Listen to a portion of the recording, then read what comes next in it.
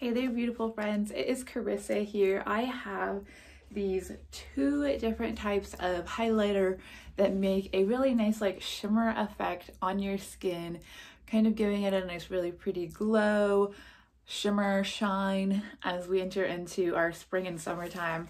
So this is color one and three, which one is like a, a white and then the other one is a like light lavenderish color. I'm gonna try them both on my skin so you guys can see what they look like and um, give you a better view of how they work. So, get this bubble wrap off from here.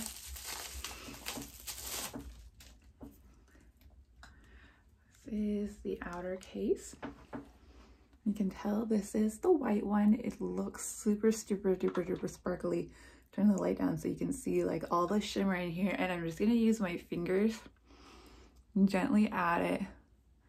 So places to put highlighter would be right here, which would be above where you have your contour. You can put highlighter on your nose, up here and here, a little here, down here on your chin, just places where you don't often want to draw attention and highlighting kind of helps to um, enhance the look of the contour on you. So you can see the places where I have added it.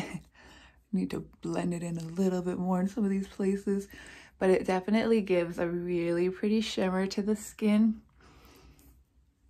And when the light is refracting on it, it just like, just sparkles. It's really pretty, really glowy, dewy, shimmery.